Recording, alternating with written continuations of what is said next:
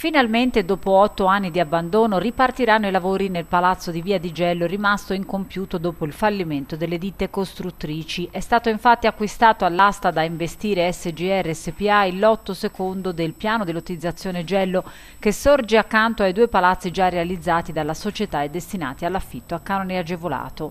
L'acquisto è avvenuto in accordo con il comune di Prato, proprietario del terreno. In sostanza, investire società di gestione del Fondo Comune di Investimento Immobiliare Fondo Fondo Housing Toscano, subentra la cooperativa Abit Coop e alla cooperativa edificatrice L'Amicizia, entrambe in stato di liquidazione, nella convenzione stipulata con il Comune di Prato nel dicembre 2012 per la realizzazione di 22 alloggi da concedere in locazione a condizioni agevolate come i 72 delle palazzine vicine già consegnati. L'accordo per la costruzione è stato inoltre oggetto di un contributo a fondo perduto Stato-Regione Toscana di oltre un milione di euro da erogare in quattro scaglioni tenuto conto dell'avanzamento dei lavori lavori. L'investimento per l'acquisto dell'immobile per il completamento è di oltre 3 milioni di euro. L'obiettivo è concludere i lavori entro l'estate del prossimo anno.